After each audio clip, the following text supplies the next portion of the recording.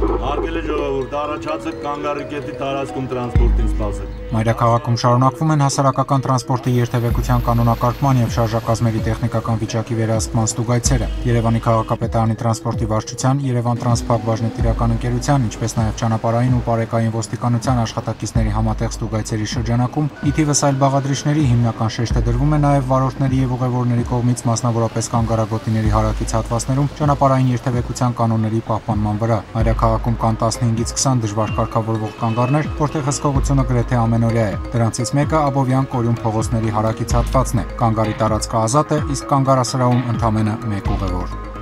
Ինձ թվում է կանոններ կան ու պետք չի կանոնները խախտել։ Կարելի է ուղղակի գալ կանգառում նստել, ոչ թե կանգառից դուրս ինչ-որ կանգնել։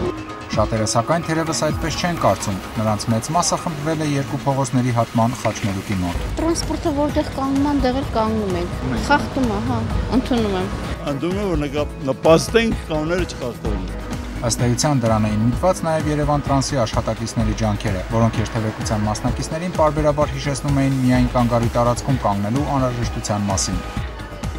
Ստուգայցերը նպատակ են հետապնդում նաև հայտնաբերել ղեկին ծխող ուղևորատար տրանսպորտի վարորդներին, թեև նրանց թիվը նվազագույնի է հասել։ Այս նախաձեռնությանը parberabar միանում են նաև Երևանի թիվ 1 արհեստագործական ուսումնարանի սաները, ովքեր չծխող վարորդներին իրենց շնորհակալությունը քաղցրավենիք հյուրասիրելու տեսքով էին արտահայտում։ Որպես զգոնության ու արատավոր երևույթից հատկապես ղեկին զերծ մնալու կոչ, խորհրդանշական խմորեղեն հանձնվեց նաև հայտնաբերված միակ ծխող վարորդին։ Երթուղին ի դեպ միջմարզային էր, ոչ թե քաղաքային։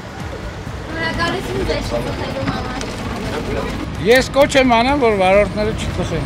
Մեծ իրով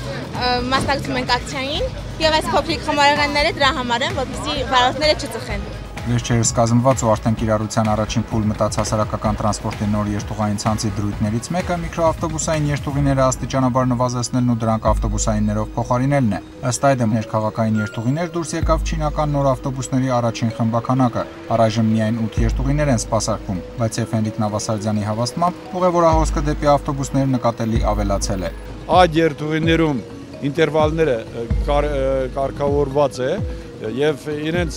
ռիթմիկ նորմալ աշխատանքի շնորհիվ ուղևորը ձգտում է ավելի քաղաքակիրթ, ավելի հարմարավետ տրանսպորտային միջոցից օգտվելու եւ օգտվում է այդ ավտոբուսներով։ Ոլորտի պատասխանատուն ընդգծում է, որ քաղաքացիների սպասարկման առումով դերևս արկա թերությունները եւ երթևեկության ընդհանուր վիճակը գնալով ավելի կբարելավվեն, իսկ ակնկալվող բարեփոխումները տպավորիչ կլինեն տարեվերջին, երբ կավարտվեն երթուղիների սպասարկման համար անցկացվող մրցույթներն ու միաժամանակ երթուղիներ դուրս կգան առայժմ չշահագործվող մյուս նոր ավտոբուսները, այդ թվում նաև նրանք, որոնք համաձայն մրցութային պահանջի կներկրվեն հաղթող ընկերությունների կողմից։ Նախ չենք ունենա հնամաշ մաշված ավտոմեքենաներ, ամբողջապես բարելավվի այդ ավտոմեքենաների